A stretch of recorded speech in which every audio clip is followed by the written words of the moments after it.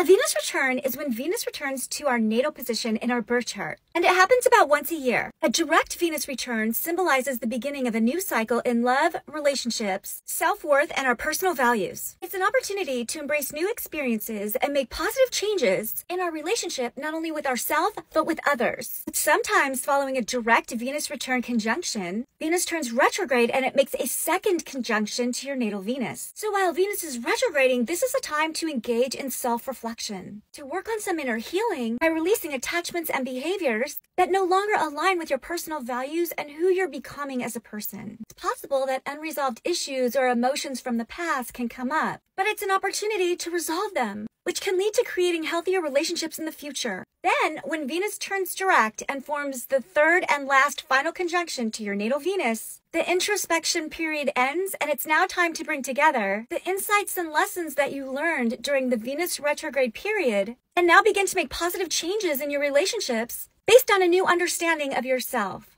This process can strengthen your self-confidence and add a new layer of balance to your life.